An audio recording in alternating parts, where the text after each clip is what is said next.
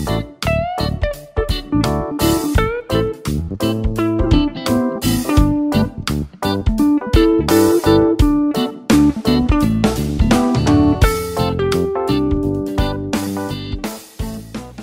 à tous et bienvenue sur la chaîne Apitoff.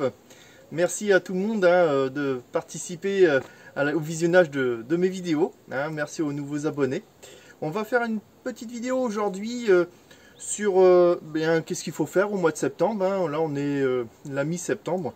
Donc on va vérifier ensemble ce que l'on peut faire, que ce soit sur les ruches ou les mini, les mini plus, les nucléi. Voilà, donc je vais positionner ma, caméra et puis on va pouvoir voir ça ensemble. Alors déjà, on va commencer sur les mini plus. Donc qu'est-ce qu'on fait euh, en cette période hein, de euh, mi-septembre? Donc euh, moi personnellement, mes ruches sont prêtes pour l'hivernage. Donc prêtes dans l'hivernage dans, le sens que le traitement varroa a été fait, toutes les hausses ont été retirées. voilà, j'ai commencé à sous-peser mes ruches. Donc ça c'est important, notamment pour savoir s'ils ont assez de stock de nourriture moi, je n'ouvre pas spécialement mes ruches dans cette période-là. Parce que d'une, euh, là on est dans un moment où euh, il y a moins de floraison. Ce qu'on attend maintenant, ça va être euh, le lierre hein, qui, va donner et qui va être la dernière floraison avant l'hiver, hein, surtout pour nos régions, hein, notamment dans, le centre de la France. dans le sud, c'est certainement différent. Le fait est que, en attendant que le lierre arrive, j'ai vu que ça commence à sortir un tout petit peu. Mais euh, le principal pour moi, ça va être de euh, vérifier la, la, pesée de mes ruches. Donc on peut soit le faire avec un peson, hein, une espèce de euh, comment dire, petite balance électronique qui en suspend. Sinon, quand on a l'habitude, on peut les prendre comme ça et les sous-peser. Là, on voit bien que elle est assez légère. Donc, je vais laisser comme ça. pour le moment, je vais sous-peser toutes mes mini plus ce que je vais faire pour repérer, je vais retourner mon chapeau. Là, ça veut dire qu'il va falloir que je nourrisse pour les aider un peu hein, et que ça puisse euh, leur permettre de les stimuler, surtout pour euh, tenir l'hiver, pour qu'elles puissent faire encore du stock. Donc là, on est euh, sur du sirop 70-30. Donc attention, hein, on met plus de candy à cette période. Un nid de 50-50, ça n'a plus d'utilité. Hein. On met du 70-30. Et ça permet donc de faire du stock euh, pour l'hiver, mais aussi ça permet à, la reine d'avoir une certaine activité en ponte pour pouvoir faire des abeilles pour l'hiver. C'est très important qu'il y ait une quantité euh, euh, assez importante d'abeilles d'hiver hein, pour maintenir la chaleur et surtout protéger la reine. S'il n'y a pas assez d'abeilles à l'entrée de l'hiver, c'est un peu compliqué. Hein. Voilà, donc je vais contrôler toutes mes mini plus et puis on va voir ensemble euh, comment je procède après pour nourrir. Donc là, on est sur un mini plus qui n'a pas pris euh, le sirop qui avait été mis la dernière fois. Donc euh, bah là, quand c'est comme ça, moi j'ouvre. Donc je tiens à vous prévenir que que ça soit les mini plus ou les ruches, on est dans une période où bah voilà, les abeilles peuvent être plus agressives. Hein, donc c'est tout à fait normal. On est dans une période où il y a le frelon, le froid arrive, euh, il y a de moins en moins de nourriture, donc forcément les abeilles sont de plus en plus agressives, hein. c'est tout à fait normal. Hein. Donc je mets pas mes gants pour le moment, mais s'il y a quoi que ce soit, bien sûr que je mettrai mes gants. Donc là je vais enfumer, j'espère simplement qu'il euh, n'y a pas de problème avec cette mini plus là. Donc je vous conseille de bien enfumer, hein. ça c'est impératif dans ces périodes, euh, minute plus ou pas, on enfume. Donc le but là c'est de voir qu'est-ce qui se passe, pourquoi elles n'ont pas pris le, sirop. Donc si elles n'ont pas pris le sirop, ça peut être signe de plein de choses. Hein. Ça se trouve la reine est morte. Ça se trouve euh, il y a un problème euh, avec de la fausse teigne qui s'est installée. Donc on voit ici que j'ai mis une languette à pivard. Donc on va sortir ça. Vous voyez déjà ça c'est très sec. C'est pas quelque chose qui me plaît beaucoup. C'est vrai que dans l'apiculture on montre souvent les choses qui sont bien, mais c'est bien aussi de montrer les choses qui vont pas. Vous voyez là, euh, c'est très très très très sec. Tout ça c'est sec, il n'y a rien dedans. Alors que c'était plein. Hein. Là c'est pas un beau cadre. Je vais en profiter pour l'enlever. Donc je vais en profiter pour renfumer à l'intérieur. Il ne faut pas hésiter. Hein.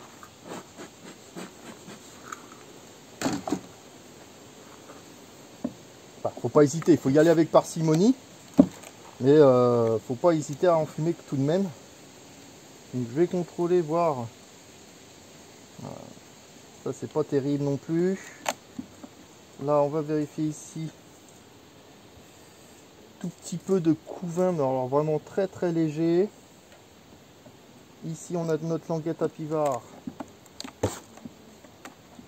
J'espère que c'est pas la reine qui, euh, qui est morte. Parce que là de toute manière bah, ça sera trop tard pour faire quelque chose.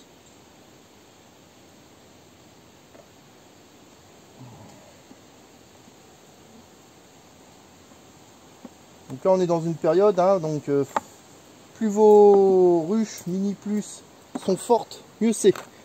Donc là le fait qu'elles aient pas pris le sirop, c'est pas, pas bon signe du tout. Hein. Si vous voyez ça, il faut absolument contrôler. Donc on va ouvrir la deuxième partie. Vous voyez, elles ont même pas propolisé entre les deux. Elles ont même pas scellé là, alors que ça fait un petit moment que j'étais pas venu. Hop. Donc on va voir ici. Là, il y a un petit peu plus d'abeilles, mais ça, c'est vraiment pas super super. J'y vais sans les gants pour l'instant, hein, mais euh, donc là, c'est pas terrible au niveau de la nourriture. Il n'y a pas de couvain. La reine est ici. Je vais essayer de vous la montrer en espérant que Là, on la voit, elle n'est pas marquée, elle est au milieu. Donc bon, j'espère que on va trouver un peu de couvain. Dans tous les cas, là, ce qui va se passer, c'est que je vais certainement y enlever cette partie-là puisqu'elle est vide. Et, euh, et me concentrer. Voilà, bon, bah là, on a du couvain. Vous voyez? Donc on est l'après-midi, hein, il fait plus de 18 degrés, 20 degrés. Hein, donc euh, faites pas ça le matin en ce moment. Hein, dans nos régions, il fait 5 degrés. Donc le matin, c'est un peu juste pour euh, ouvrir. Donc je vais pas les embêter plus que ça. J'ai vu ce que je voulais. je vais me mettre comme ça parce que vous n'allez pas voir. Voilà, je vais pas les embêter plus que ça.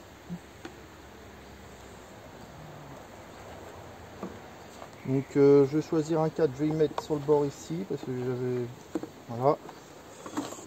Là-haut, de toute manière, il euh, n'y a rien. Donc, euh, ça sert à rien de garder ça. Donc, on secoue toutes les abeilles ici.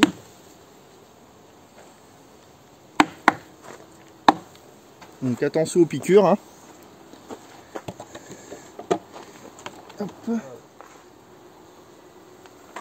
Je voudrais pas euh, éterniser le truc. On va les faire redescendre. Hop. Pof. Voilà. Je vais leur remettre quand même un petit peu de sirop. Et puis euh, on va supprimer euh, l'autre, euh, l'autre, la petite hausse qui était en plus. Voilà. Donc voilà comment je vais pour mettre de la nourriture. Ce sont des, des sachets que j'ai acheté euh, en plus en promotion. C'était une promotion, donc j'en ai profité. Je trouve pas ça super pratique, je préfère quand c'est en seau, mais bon. Donc là, ils en ont déjà, je vais juste en rajouter un, millilitre. Hein. Ce que vous pouvez faire, hein, c'est rajouter des petits bâtons hein, pour pas que les abeilles se noient. Hop, comme ça, ça grippe dessus et elles vont venir butiner tout ça. on pousse les abeilles sur le bord. On referme. Ah, j'avais pas vu celle-là.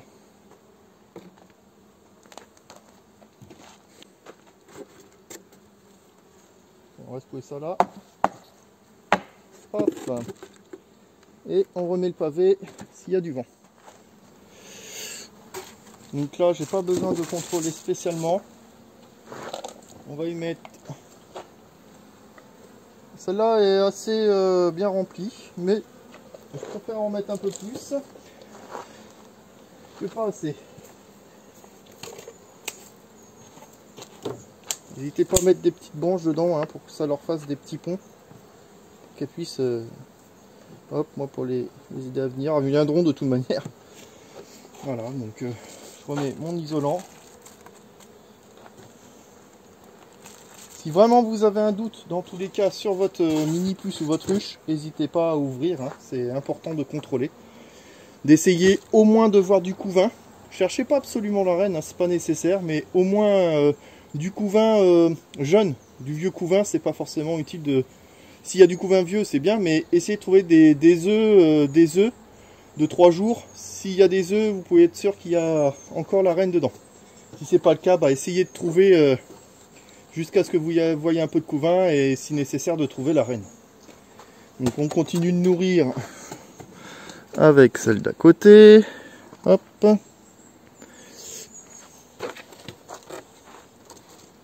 Donc là, quelques abeilles mortes. Je vais les enlever. On va prendre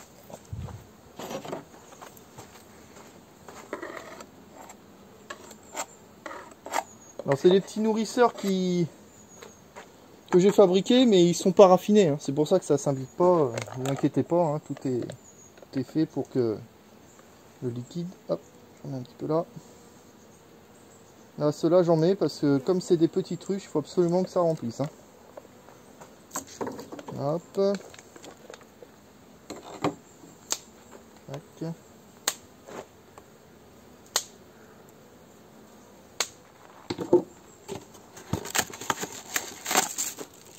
Notre isolant. Et voilà. Bon, je pense que vous en avez assez vu pour, euh, pour cette partie-là. On va voir euh, après euh, sur les ruches. hein. Allez, à tout de suite. Voilà, soit dit en passant, regardez, hein, j'ai eu un peu de frelons hein, dans le coin. Il y, a, il y a des deux. Cette je trouve que les Européens attaquent vachement aussi. Donc il y a de l'Européen et du... Il y a de l'Européen et puis du frelon asiatique. Donc j'ai plus trop de batterie, je sais pas si je vais avoir assez pour filmer un peu euh, sur les ruches. Mais je vais essayer de me dépêcher. Vous voyez, pour les frelons, hein, ce que je fais, c'est que je laisse les, ruches un peu en friche. Ne vous inquiétez pas, les abeilles passent. Mais ça gêne fortement les frelons quand même. Bien qu'ils arrivent quand même à passer. hein. Là on voit un frelon européen en train d'essayer d'attaquer au loin là. Là, il y a un frelon asiatique aussi. C'est pas marrant, hein. franchement, euh, cette année, euh, vous voyez, là, il y a deux frelons européens. Non, c'est deux européens. hein. Je sais pas si vous les voyez. Donc, euh, j'ai ma raquette. Je vais essayer de leur mettre un coup sur le coin du nez. Donc, voilà. Bon, en tous les cas, je vais vous placer. Ce que je fais, c'est que je soupèse. Donc, j'enlève le poids du dessus. Je soupèse par l'arrière et je vois si c'est lourd ou pas.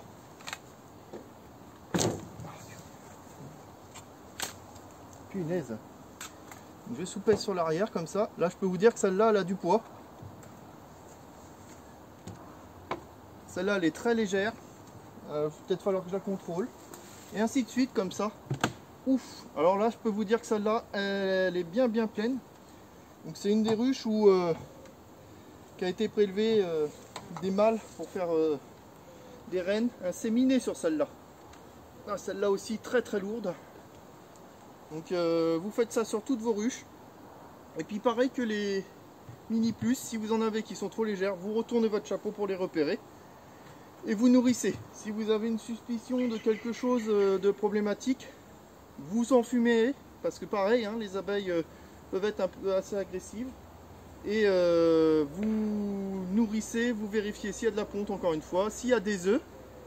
Et si c'est le cas, bah, vous refermez et vous, vous nourrissez s'il y a besoin. Voilà. Allez, on va continuer le contrôle et on va nourrir celles qui ont besoin. Donc au final, j'en ai très peu qui sont en manque de nourriture. Enfin, et c'est qu'elles sont légèrement plus légères. Donc, euh, hop. Je sais, il n'y a pas les gabochons, tout ça, il y en a plein qui, qui me le disent, mais moi je les utilise pas.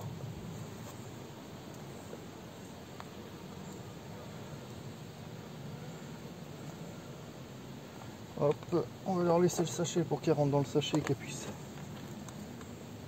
Vous voyez, hein, j'ouvre pas la ruche, il n'y a pas besoin pour moi. Les isolants du dessus, hein, j'ai des mousses qui viennent hein, pour l'hiver. Je les ai pas encore mises parce que les températures sont encore assez favorables. hein. Là, j'ai pas de nourrisseur.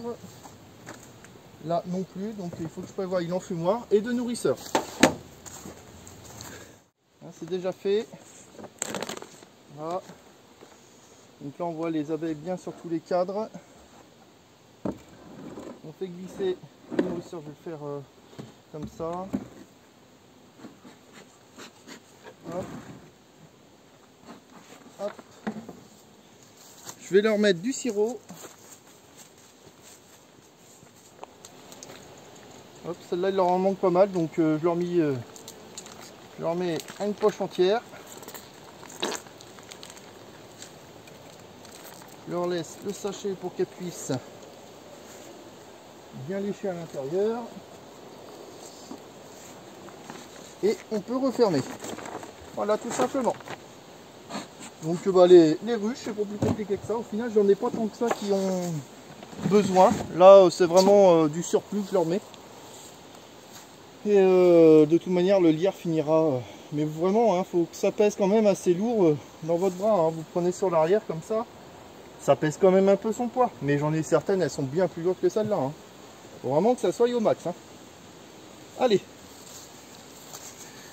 donc bah, ça me fait plaisir que vous ayez euh, regardé un petit peu cette vidéo et que vous ayez eu encore quelques petits conseils face euh, à l'hivernage qui arrive et comment bien préparer.